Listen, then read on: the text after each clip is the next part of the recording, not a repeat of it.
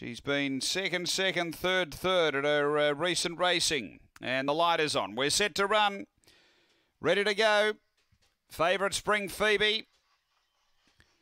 Away, Stepwell, Spring Phoebe, Speed, Sutton Prince down near the inside. They go to the first bend. Spring Phoebe and Sutton Prince go together. Behind those next, we had Blue Bouquet, uh, then Sky and Thunder, and back at the tail, Panama Dance down the back. Sutton Prince, the leader, got away a bit over a length now on Spring Phoebe. A length, Sky and Thunder, and then came Blue Bouquet up toward the turn. Sutton Prince led, moving up Spring Phoebe, then Sky and Thunder. Spring Phoebe moving up, took the lead, got clear. Spring Phoebe too good. Second might be Sutton Prince, but Sky and Thunder not that far away. Then both Blue Bouquet and Panama Dance. The time here around 30 and 60. Rawlings gets the double.